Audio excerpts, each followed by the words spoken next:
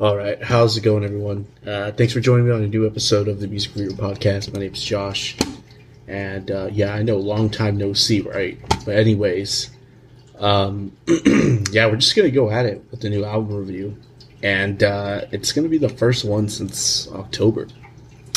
Um, I've kind of explained, I guess, the past couple of episodes that I've I put out uh, why I've been kind of just been more sporadic and whatnot, but uh, a, few things I guess I've since I've been away or just not uploading as much um, that I've maybe just come to realize about maybe mistakes about how I went about the podcast uh, from the very get go, from the very beginning when I did it in I believe 2020 already. Um, I've I've just seen some stuff that you know maybe I just was uploading some reviews or just reviewing some music that maybe I wasn't so hot on just talking about. Um, but I won't get too into that. Um, but from what I've, I've seen the past couple of uploads, I've done quite well um, compared to like some other stuff that I, you know, put out. So um, whatever I was doing on these recent talking tracks, um, perhaps maybe made a difference, but I don't want to bore anyone with that stuff. But I think I would want to continue doing stuff like that as well. But I also want to bring back album reviews, and uh, this uh, this album review is just going to be an album that uh, I think I want to talk about, and uh, it's going to be episode seventy one. So yeah, seventy first uh, album review. It's going to be over Mahal by Tori. Uh, this album was released on April 29th, so it's been about a month. It's uh, self produced by Chaz Bear, uh, formerly known as Chaz Bundick, the mastermind behind Toro y Moi. Some consider him the, one of the founders of Chillwave. Um, I've talked about some of his music in the past. I've given, you know, some thoughts here and there over the artist, but this is going to be the first official album review, the first time I talked about him uh, officially was like on a worth a listen, which those kind of have not done at all. I don't think I'm going to be doing those anymore. Uh, but nonetheless, uh, yeah, this is uh, the latest project. I'm not sure what uh, what number this is album wise, mainly because he has some mixtapes thrown in and some interesting projects that aren't officially albums. Uh, but this is the latest one, and it's been since 2019 that's official album has been released uh, under the name Toro y Moi. Uh, just some brief background. Um, he's an American singer, songwriter, record producer, also graphic designer. Very multi talented, this guy is. Uh, he's credited with being one of the first pioneers of chillwave, like I said earlier, in the early 2010s. From South Carolina, that's pretty interesting um, as well. Chillwave is a subgenre, for those that don't know, of synth pop and indie pop that emerged in the late 2000s with uh, the summer of Chillwave that emerged in 2009. I think I probably took that from somewhere, but I think that's kind of when uh, there was a boom of uh, critical acclaim amongst like the indie blogosphere. The three main artists that are responsible of that sort of indie uh, chillwave boom uh, were Neon Indian Tori, Neon Indian Toro y Moi, and Washed Out but all acts still somewhat active. I'd say probably the least active being Neon Indian, uh, but uh, nonetheless, they're still somewhat relevant.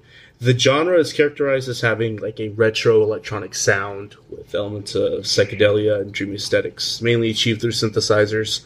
Uh, it's pretty evident when you turn it on. Also, um, with elements of like mellow vocals in much of the majority of the genre uh, that are really important to the text overall texture of the music. Uh, chillwave is also seen as being you know somewhat related to chill or uh, vaporwave as well. If uh, anyone here is into vaporwave, uh, it's seen uh, by many this that study contemporary music as a genre that evolved from like dream pop and shoegaze, so they're somewhat related. Uh, some see the official start of the genre also being all the way back in 2007 uh, from the release of Panda Bear's Person Pitch, which now that I look into it, I had no idea Panda Bear was making music that long ago. That would have been their third release because I guess I only ever cared about Animal Collective. But yeah, I thought that was interesting. Uh, but nonetheless, more about Toro y Moi. Uh, the album that really stuck out to me was Anything in Return, which was released in January 2022, 2013 by uh, by Toro y Moi on Carpark Records. Um, I'm not going to sugarcoat anything. If there is such a thing as like an exclusively hipster label, it would probably be Carpark. Um, you could probably group that sort of label with a lot of bands that were pretty hot in the indie realm uh, to that label, and maybe still today. The bands that I enjoy and appreciate sometimes, much of the bands that I enjoy and appreciate are typically on there. The prominence of the overall vibe is noticeable, though, uh, on this album, Anything Return. It was an album that aimed to be more accessible, according to uh, Toro y Moi himself.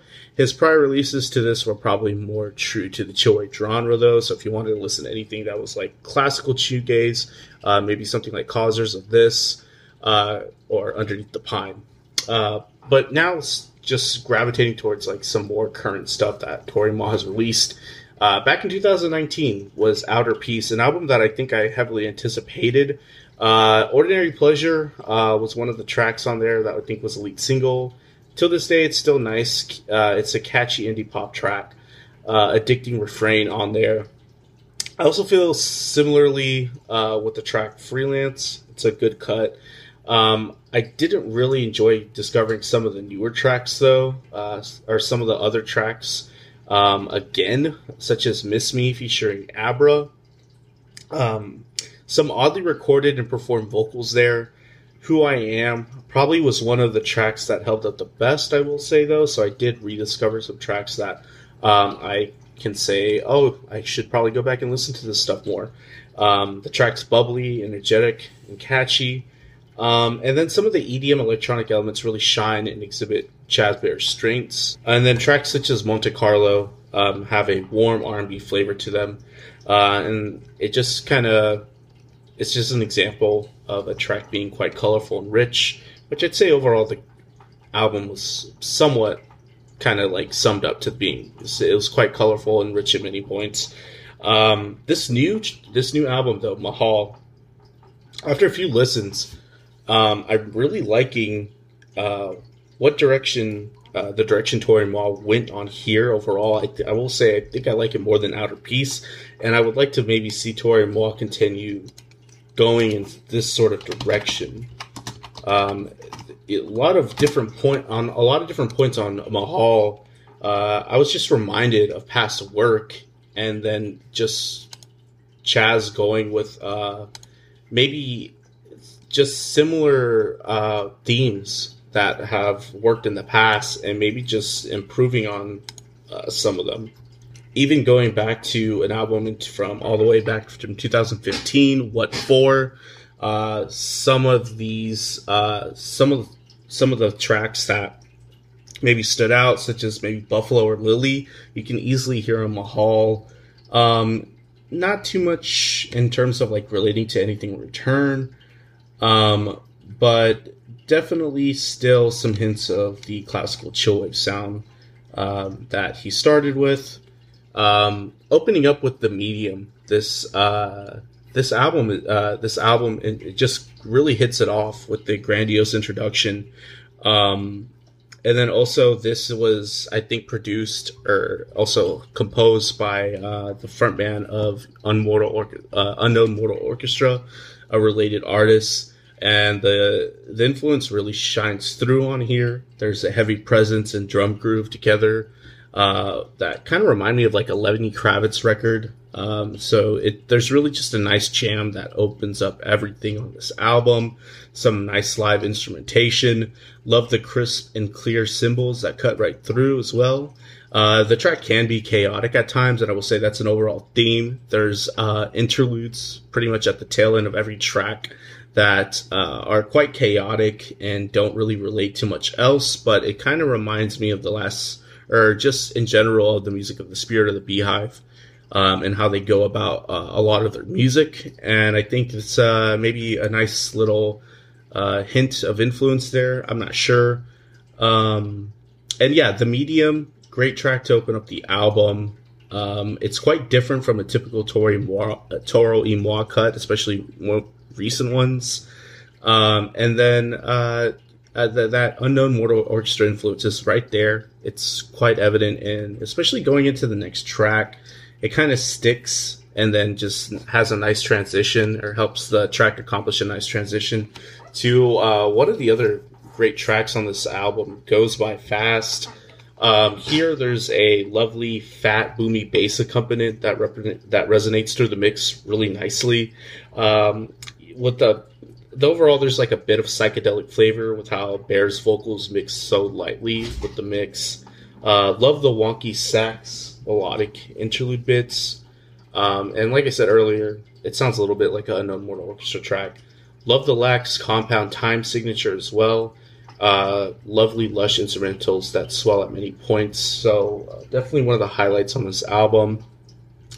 Uh, didn't really care too much about anything until we get to Postman, um, which is one of the lead singles off of this, and probably one of the better cuts too on the album. The grooviness of the drum track is awesome.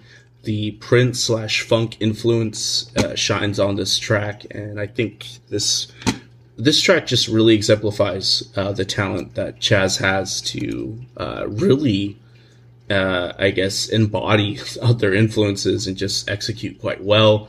It's unique in the sense that it leaves a lot of like the dreamy ethereal norms of Bear's music while also confidently presenting uh, Toro y in an interesting light. So yeah, just didn't really know he had it in him with Postman, but he executed it quite well. The loop was really nice as well. Um, there's a great transition for Postman into it. Um, and yeah, it kind of just paints Toro y Moi in a new light. The tracks complement each other nicely. Uh, I love the accompanying lead guitar during the staying in the loop refrain. Uh, still, there's a slight funk flavor, I'd say. Um, however, it's just kind of presented with like a different swagger and vibe. The track generally sounds like what you'd expect. Uh, some of the past work that Bear did in the past evolving to some sort of newer fusion of funk and rock, I guess. Um, that only maybe Toro y Moi can like come up with. It's it's an interesting sound. Um, last year was the next track. It I will say it's a bit of an outlier so far in the context of the other tracks. Um, I do love the mobile melodic bass lines that guide this track. It's interesting, probably just not my favorite overall. Um, the next track, Mississippi, after that, I think was uh, a, a, good track. Uh, the track definitely hits on a lot of vintage slash classical flavor to it aesthetically, almost like a a weird Pink Floyd s type of track. It just sounds like a trip from the past that could have possibly fit in like an old '70s movie, possibly. I'm not sure if I'm going back too far or like not far enough you know, this blends in nicely with the next track as well, with the Spirit of the Beehive type in- interlude. Um, this is a great example of that happening into the clarity, which is probably one of the better tracks. Um, I love the jamminess guided by the rhythmic section on here. Again, there's some lovely etherealness that, uh, with some colorful accents, such as the fluttering flutes, Aesthetically, it's dreamy, haunting. the featured vocals sound appropriately implemented on here as well. Definitely dug that bit there. It's a lovely composition overall. I dig the effects that are thrown onto the vocals as well. It really makes the music a lot more interesting. Um, after that, though, we kind of hit, you know, a more of like a dip in the overall enjoyment that I have this album with foreplay. Uh, the lighter synth melody thrown in the interlude on here, I could have maybe lived without. It just sounded a little bit offsetting uh, or off putting to me. The track can maybe lose some luster as the interlude drags as well. Um, so it, it just kind of felt, uh, you know, a little, uh, a little unfocused, I guess, and abstract. I know that was probably the intent. It just didn't really kind of work for me. And then there's like an odd abrupt transition to like a pinback style sort of instrumental, the band pinback. Um, but after that, we get an interesting cut with Deja Vu that hits on a lot more psychedelic flavor here with some interesting colors present on here. It seems like it attempts to be poppy, hooky, at least more so than the rest of the album thus far, with the exception of the loop, probably one of the more accessible tracks on here. Uh, Way Too Hot, probably one of the least interesting tracks after uh, after Deja Vu. Um, it, it just doesn't seem to captivate me that much. The drum track doesn't seem to have the same effect like in the rest on much of the other songs on the album. Um, just not a lot of energy going on. and yeah, I will say that this album ends on a high note, especially with the second to last track, Millennium. I did enjoy it um, quite a bit. There's some classic Toro y Moi sounds here as well.